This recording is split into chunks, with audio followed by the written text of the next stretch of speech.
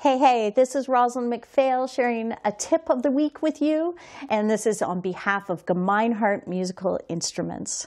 So, guess what? There's always going to be somebody better than you. Isn't that true? There's always going to be somebody better than me.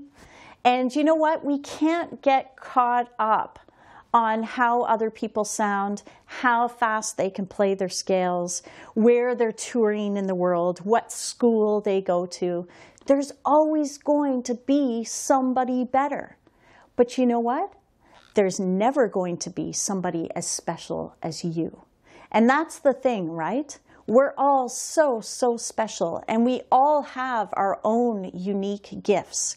And the hardest part about music, I find, is to find a way to really find our own voice, find our own thing that we're really good at. So I encourage you to think about how you can find your own voice, how you can do something that only you can do, and stop thinking about what others think. Stop trying to compare yourself to others. You're special just as you are.